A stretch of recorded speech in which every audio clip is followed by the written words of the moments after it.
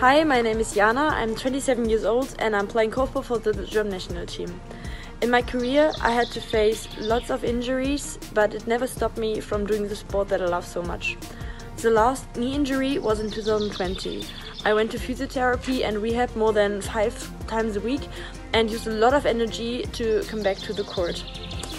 I'm beyond happy to not have given up and now being able to participate at the World Games. I'm so grateful for my own effort, but also for the people that supported me during my process and appreciate me coming back.